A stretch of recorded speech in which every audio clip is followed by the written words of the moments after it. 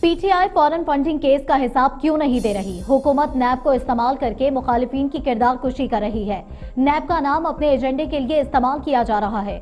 مسلم league نون کی حکومت نے سالوں پرانے منصوبے مکمل کیے۔ رہنما مسلم لیگ نون احسن اقبال نے نارووال سپورٹ سٹی کا اوپن ٹرائل کرانے کا مطالبہ کر دیا۔ ملک کو حکومت کی نالائکی اور تباہی سے بچانے کے عزم کا بھی اظہار کیا۔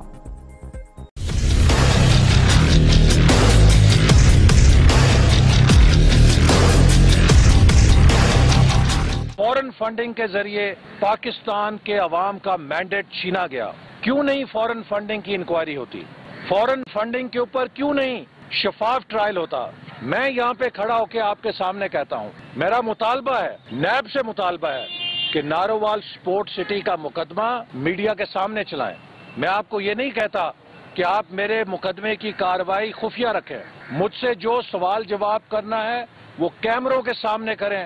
تاکہ پاکستان کے عوام کو پتا چلے کہ ہمارے خلاف لگنے والے الزامات کی حقیقت کیا ہے۔ لیکن خدارہ اس ملک میں میڈیا ٹرائل بند کریں۔ نیب کو اس بارے میں سوچنا چاہیے کہ یہ حکومت نیب کا نام اپنے ایجنڈے کے لیے استعمال کر رہی ہے۔ یہ حکومت نیب کا نام استعمال کر کے مخالفین کی کردار کشی کر رہی ہے۔